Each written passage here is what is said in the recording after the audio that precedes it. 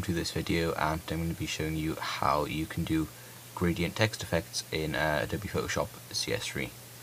So you just need to launch Photoshop and go and create a new document. And this can really be any size, I'm just going to make mine say 500 by uh, 500 but really just whatever size you require. You can put a background colour on etc if you like that kind of thing. I'm just going to leave it as a simple document at the moment. And click OK. And there we have a document. I'll just make it a little bigger so you can see it better. And um, so we have this document and I'm just going to type some text using the standard text tool from the from the uh, toolbox. And I'm just going to say type some text and just say hello and I can make it whatever size I want obviously and things. Just uh, move it around a bit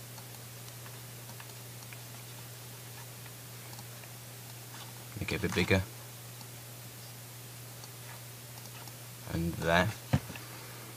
And then I'm just going to go down to the layers section here. Select my text layer I'm already selected on it because it's the only layer in this document so far. And go to the little button that says FX down here which is and when you highlight over it a, uh, a little pop-up appears that says add layer style. So click that and go onto that. And then go on to uh, drop shadow. Now you add this effect just to make it look slightly better, just add a shadow. And you shouldn't really need to change those settings, you can if you like, but I'm just going to leave them as they are. And then go to gradient overlay. And you'll see the text already gone to a gradient. And you can reverse it, have it whatever way you want, scale it a bit so some bits are darker than others, etc. So either looks more balanced or more more contrasting and you can obviously just go on and just uh, you'll see this panel pop up when you just click down on there. And you can choose different colours for your gradient.